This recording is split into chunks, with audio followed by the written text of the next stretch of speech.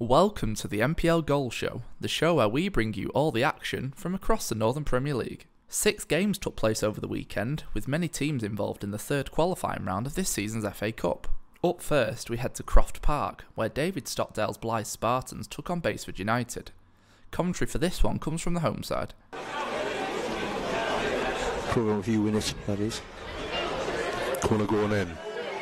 Just meet the head. And it is in. It's 1 0 to Basford. And a scrappy goal there. From there, but not the creative ability to fashion a chance from it. Southwest it. 1.7 million. Chance here for Chambers. And it's, it's sec- second goal for Chambers. And then there's 2 0 to the visitors.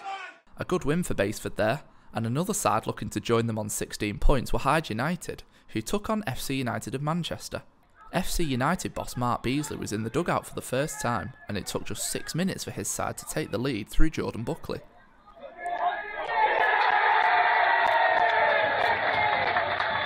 Buckley previously worked under Beesley at Warrington Town, and on the basis of this, it could be a successful partnership once again.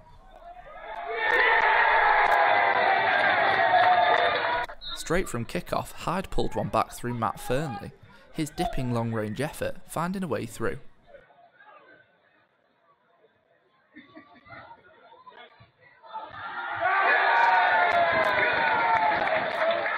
FC United had failed to win since the opening day of the season, but Jordan Buckley set them on their way before half time with this excellent finish to complete his hat trick.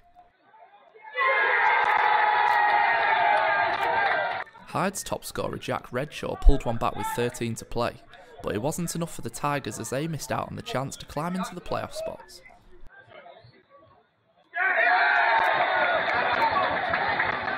On to the new manor ground as the Battle of the Robins saw Ilkeston Town host Ashton United. Ilkeston boasts the division's top scorer in Tom Cursons, and it didn't take long for him to open his account with this, his 10th of the season.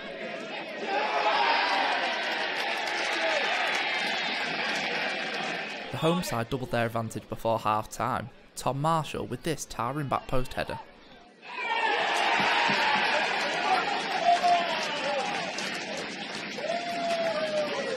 Ashton were beaten 3 0 in their last game by Prescot Cables, and Jason Gilchrist capitalised on a mix up between goalkeeper and defender to give the visitors a lifeline headed into the break.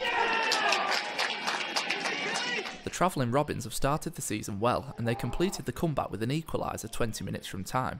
The initial header struck the post, and Darius Osei was on hand to tap the ball home on the rebound.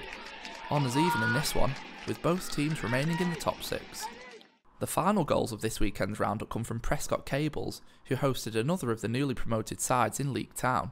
Prescot have taken three wins and a draw from their last five, and this piece of individual brilliance from Francis Smith saw them hit the front once again.